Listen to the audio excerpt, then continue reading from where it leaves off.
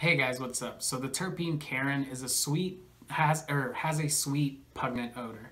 In high concentrations, uh, carene can be a central nervous system depressant. It is often used to dry out excess bodily fluids such as tears, mucus, and sweat.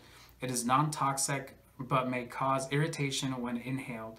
Um, perhaps high amounts of carene in some strains may be partially responsible for symptoms of coughing, itching, and like eye irritation um, when you're smoking. Carene is naturally present in pine extract, bell pepper, basil oil, grapefruit, and orange juice, citrus peel oils from fruits like lemon, lemons, limes, mandarins, tangerine, oranges, and kumquats.